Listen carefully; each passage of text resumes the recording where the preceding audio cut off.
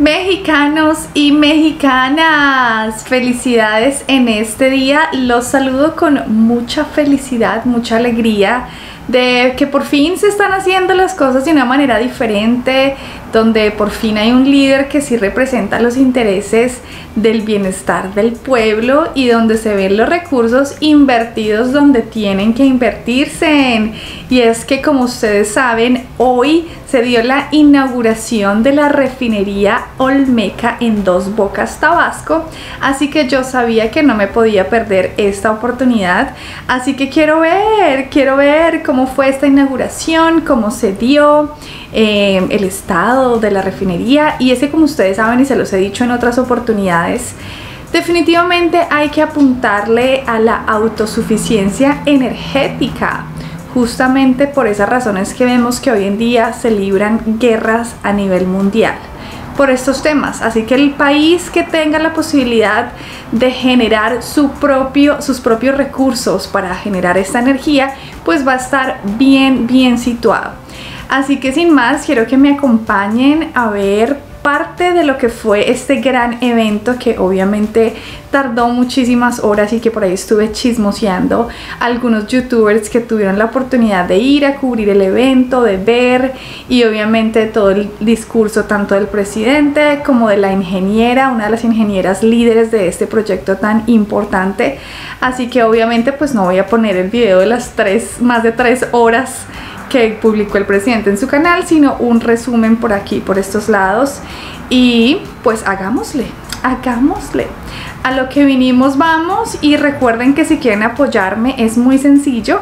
Lo único que tienen que hacer es darle un like a este video, suscribirse a mi canal y activar la campanita.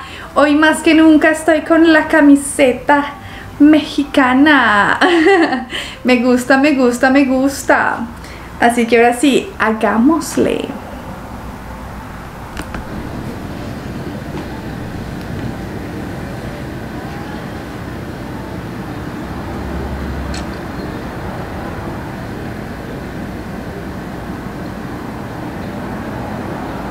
Ahí estamos viendo como todas las instalaciones en una vista panorámica y lenta para que no nos perdamos ningún detalle. Ah, miren, ahí están los ingenieros, arquitectos y demás. Ay, buen presidente. Del lado derecho tenemos la terminal de Dos Bocas, construida en 1985, donde llega todo el crudo, un millón de barriles, ya están ahí estos barriles de 500 mil eh, estos tanques de 500 mil barriles sirven, se llama para recibir el crudo y tienen que darle 48 horas como de reposo para la sedimentación y de ahí eh, va el crudo hacia el Sistema Nacional de Refinación y en este caso para acá. Entonces ahí llega y del lado izquierdo pues ya tenemos la refinería, este, vamos a recibir de este lado ya tenemos las 17 plantas arriba, era lo que nos comentaba. Ya, no, ya todas las plantas están arriba. Este, todas las plantas están arriba, todos los equipos críticos están arriba, menos dos torres que las tengo en alta mar, porque yo les había dicho que aquí se fuera a llegar a venir. Llegaron el 29 son dos torres que vienen creo también de la India, se las bajamos mañana y vienen directamente a sitio. Eh, esta torre, de, esta planta que tenemos aquí enfrente son las hidros de diésel, hidros de gasóleo, hidros de naftas, esta es la torre de enfriamiento. Esta refinería es diferente a las seis. Las seis refinerías tienen dos trenes, o sea, entra el petróleo y sale. Ajá. Esta no, entra, es un tren y medio, entran dos trenes en la planta combinada que tengo atrás, se junta el proceso a una sola que es la catalítica, que es donde está ese como botella invertida, esa catalítica, este, ahí se junta y de ahí pasa todo el sistema de hidrodesulfuración, que es quitarle todo el azufre y darle octanaje a las gasolinas. Esta refinería se hizo especialmente el presidente para gasolina y diésel. Gasolina y diésel. Se puede sacar asfalto si uno quiere, o se puede sacar cocina, pero nos pidieron que nos concentráramos en gasolina y diésel. Entonces es un tren y medio eh, que es eh, casualmente igualito de la India, el de la India también entra en una combinada y cierra una. La catalítica cada cuatro años debe dedicar 35 días en mantenimiento. O sea, cada cuatro años va a parar la refinería 35 días. Oh, es, interesante dato. Toda la parte de atrás está como un canal de almacenamiento, 56 tanques verticales, 34 esferas. Estas todas esa, esa se hizo en un tiempo récord mundial, 90 tanques para eh, 18 meses, o sea, fue rapidísimo. Y Impresionante. acá enfrente pues tenemos el puerto, el puerto de Bocas, el API y el puerto de Pemex. Este, entonces, y la parte de acá a la derecha atrás pues está todo el área administrativa y parte de la planta combinada.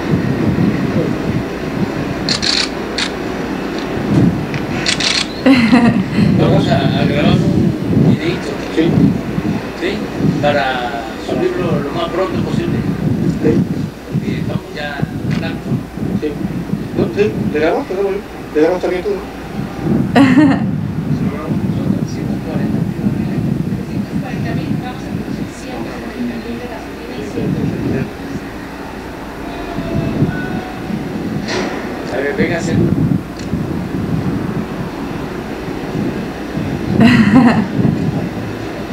Wow.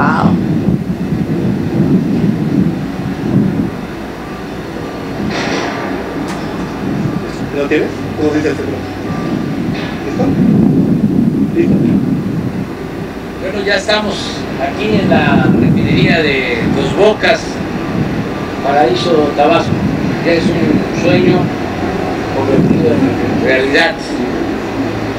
Está Octavio Romero Oropesa, director de Pemex, el almirante Ojeda, secretario de Marina, la secretaria de Energía, Rocío Nale, Secretaria de Energía.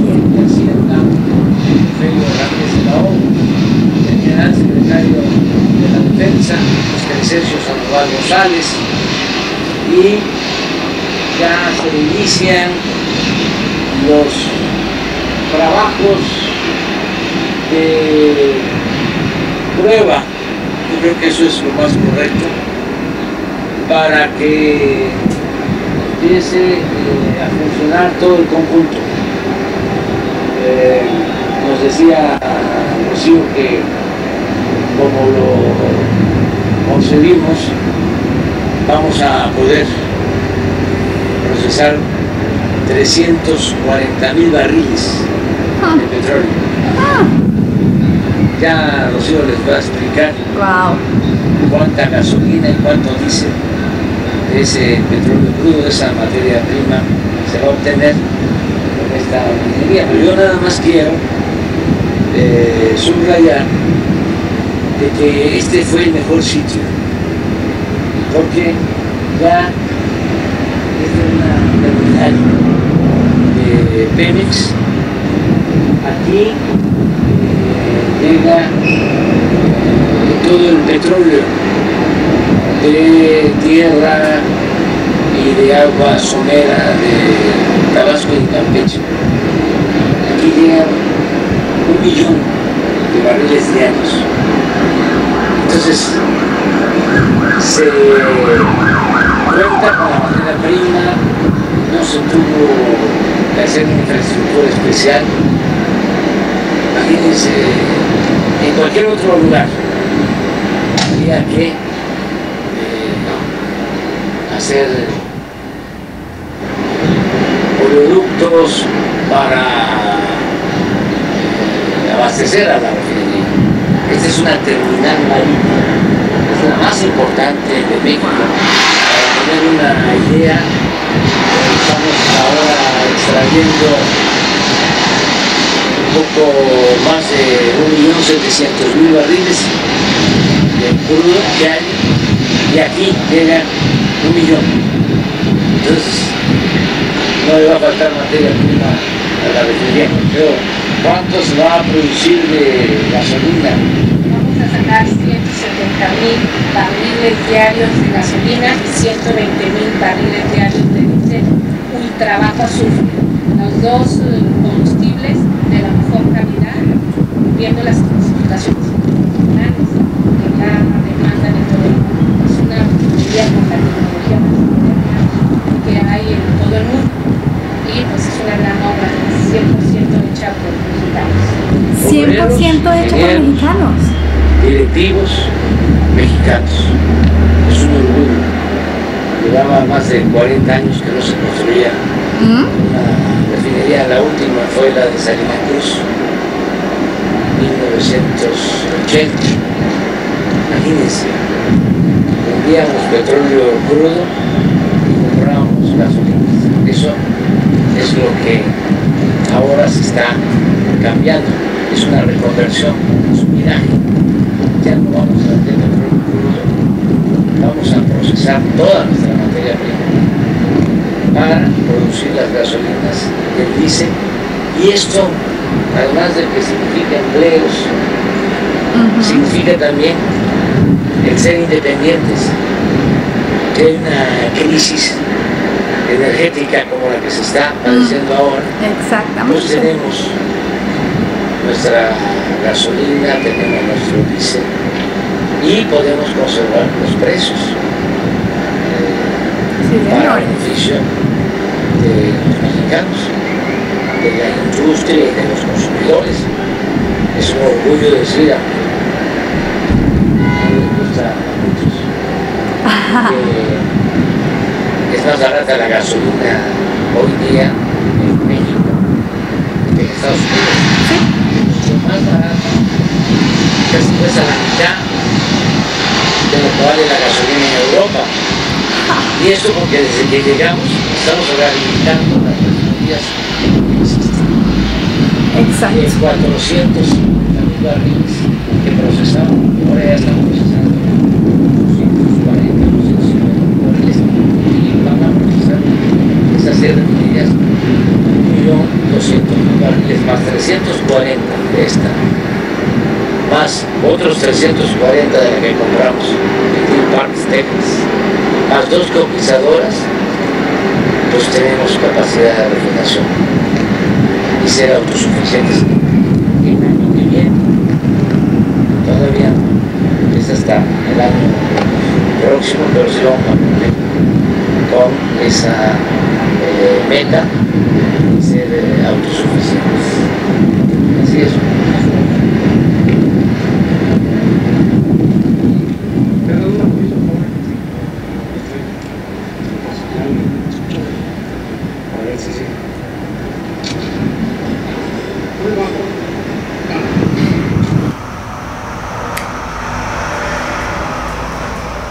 Impresionante, impresionante. Felicidades una vez más a todos los mexicanos y mexicanas, a los que están a favor del presidente AMLO y a los que están en contra también.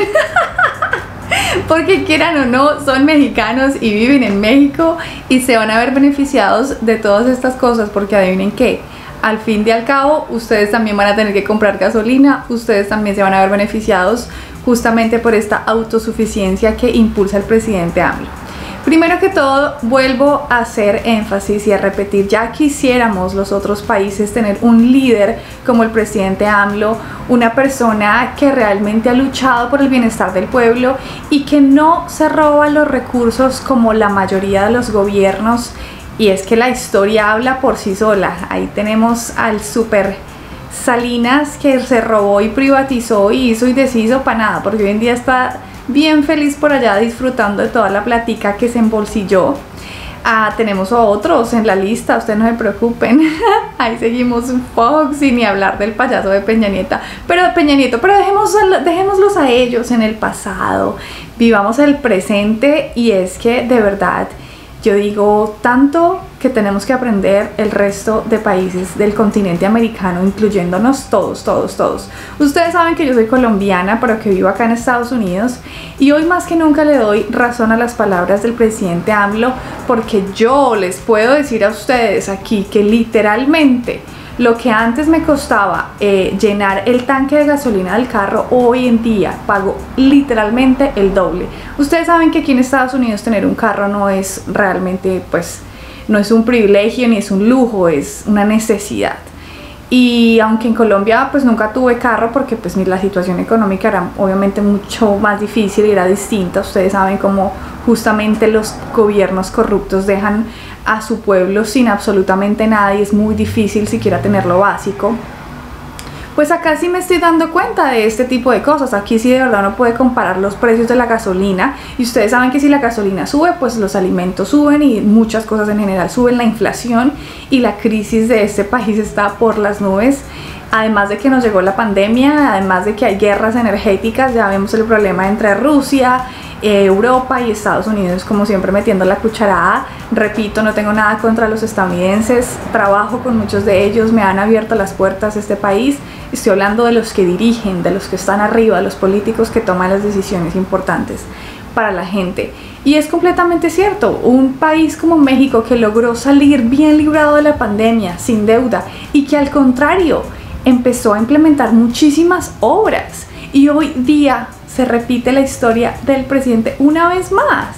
Les está cumpliendo, no solamente se quedó en el papel, no solamente se quedó en el discurso de político, sino que hoy en día les está dando la cara y les está mostrando y les está diciendo, miren, aquí está la refinería como lo prometido. Y es que así lo hizo con el, aeropuerto internacional Felipe Ángeles en tiempo récord, dos años y medio, la restauración del Parque Ecológico Texcoco, que fue justamente en donde se iba a construir inicialmente el aeropuerto, otras mega obras y construcciones como el Istmo, que también está en curso, ¿Qué me dicen del tren Maya del aeropuerto internacional que viene en camino para Tulum, que también ya se están haciendo los primeros ajustes en la, en la área? Em, Felipe Carrillo, justamente. Y, y, muchísimas otras cosas más. O sea, el presidente no para, él sigue porque sabe que tiene que trabajar muy, muy fuerte para poder arreglar un poquito todo el desastre que dejaron los gobiernos anteriores y todo lo que se robaban. Porque es que vean la cantidad de cosas que se están construyendo y se están haciendo hoy en día sin deuda. Y la gente dice, pero ¿dónde había tanto dinero? ¿Pero cómo es posible? ¿De dónde salen todos esos recursos? Fácil, muy sencillo. Es que ya no hay corrupción. O por lo menos no por parte del presidente que es el líder y hay un gobierno austero, austero para lo que reciben los gobernantes, no para lo que, en lo que se invierte, porque el aeropuerto internacional Felipe Ángeles no tiene nada de austero, tecnología biométrica de última generación.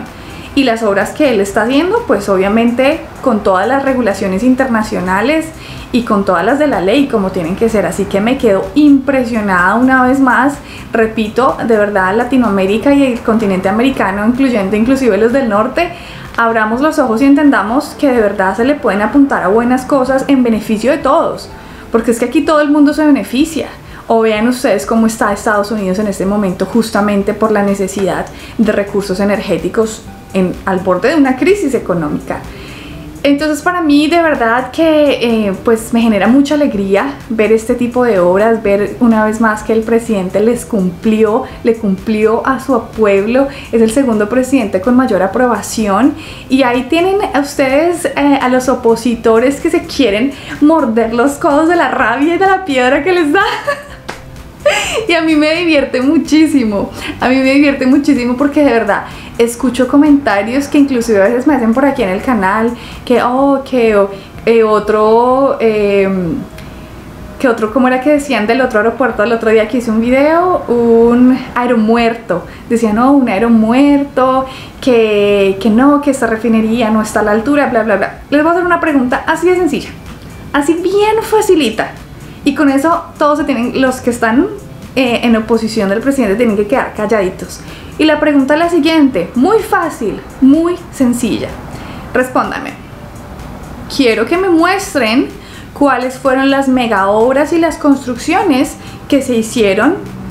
Hablemos de los 40 años eh, anteriores a este gobierno, como dice el presidente, que hacía 40 años no se construía una refinería. Compárenlas, compárenlas.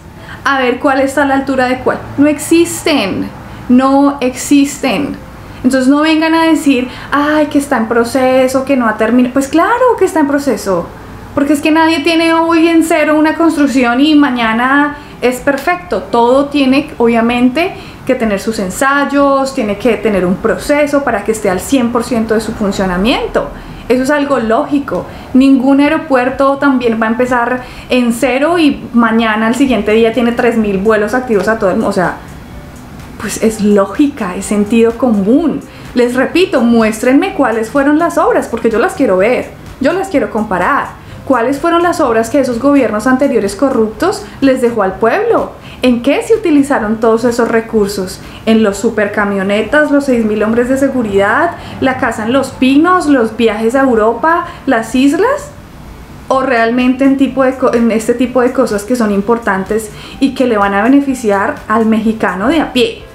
A ese que no tiene que ir a pagar más por la tortilla y el huevo cuando va a la tienda por temas de la inflación y porque siempre se robaban todos los recursos y se quedaban eh, pues obviamente con la gran tajada el mismo grupito de siempre, ¿cierto? Eso es lo que les duele y eso es lo que les arde.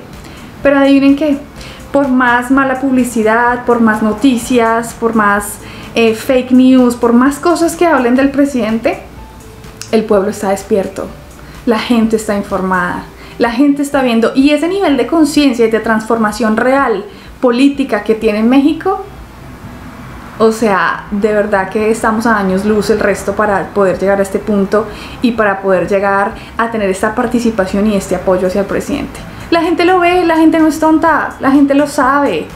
Es que es tan sencillo, repito, como comparar las obras que hicieron antes, o sea, ninguna, versus lo que está haciendo ahorita el presidente. Entonces, toca que se queden calladitos, que se muerdan los codos y que entiendan que por fin hay un presidente que de verdad vela por el beneficio de todos y no solamente por el beneficio de ayudar y seguirle eh, dando dinero a las compañías privadas como lo hacían antes, vendiendo los recursos, vendiendo el país.